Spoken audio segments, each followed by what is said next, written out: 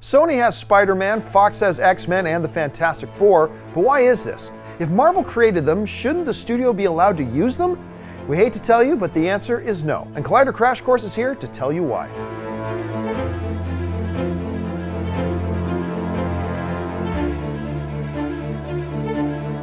So why can't Marvel use, let's say, Wolverine or the Fantastic Four in their cinematic universe? First of all, because we live in a world where things like licensing rights exist. Second of all, and rather unfortunately, we live in a world where we need something called money. This need extends to large corporations who literally need it like humans need blood. There was also the 90s, and while it gave us incredible things like ecto coolers and JNCO jeans, it was really bad to the comic book industry. And not just because it gave us Asbats and Feral Wolverine. Despite the fact the speculative market really took off, giving way to one of the highest grossing years in comic book history, 1993, the same year that gave us Jurassic Park, Got Milk, and Magic the Gathering, Your Welcome World, the mid to late 90s saw one of the sharpest decreases in comic book sales in history. The comic book industry as a whole reacted like any good business would sweet, sweet greed. They inflated the market with variant covers and so called collectibles.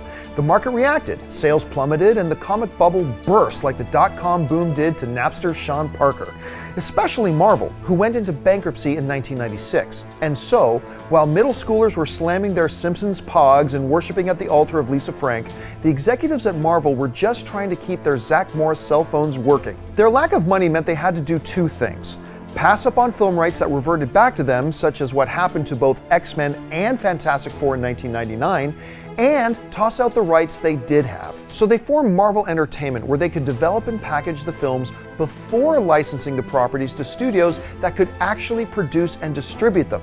This is how Wesley Snipes became Blade in 1998 for New Line Cinema. Coincidentally, this is also how Wesley Snipes almost became the Black Panther, except that no studio wanted that, proving that given a long enough period of time, Hollywood will eventually do the right thing.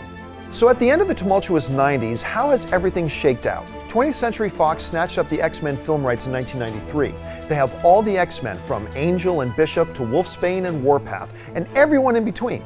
They also have the Phoenix Force, Weapon X, the New Mutants, as well as the word mutants, which is why we're now having to deal with Marvel and all this weird Inhumans mumbo jumbo. Well, presumably.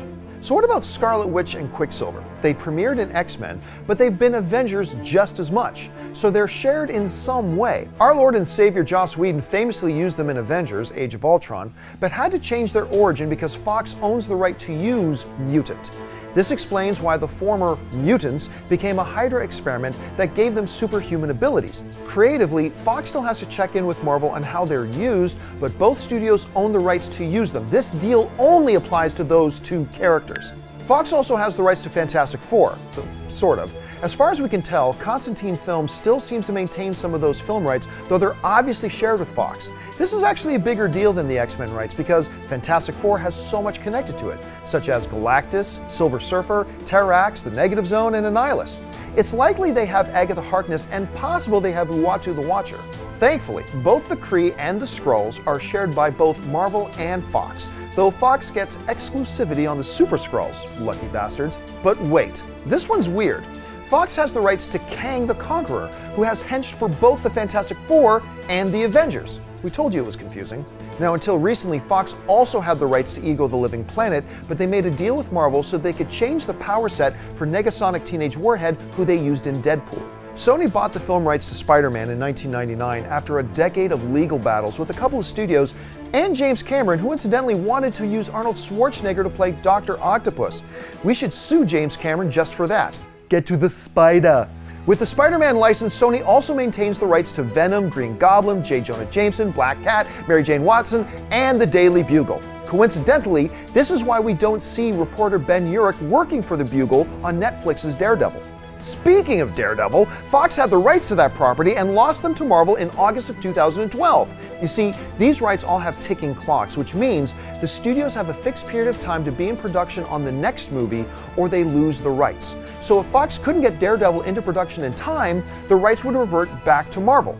Joe Carnahan, fresh off the success of The Grey, pitched a gritty 1970s set Daredevil movie that Fox loved, but time ran out before it could get into production. Hence the reason why Daredevil is on Netflix and crushing those one take fight sequences. Also interesting is Marvel's very own angry green rage monster, the Hulk. Universal still technically has distribution rights, though they don't have full licensing rights, at least not as far as we can tell.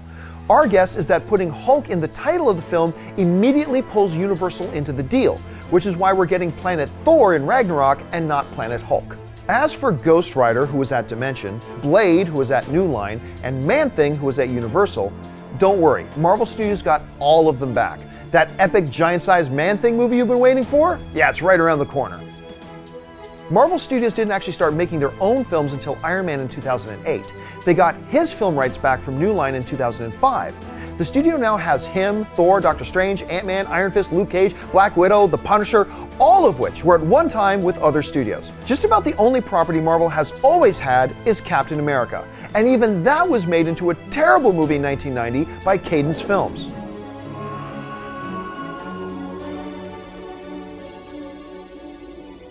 But now we have this.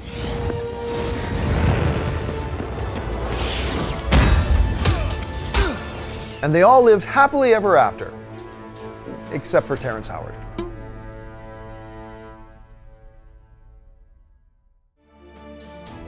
Go ahead. Trust me.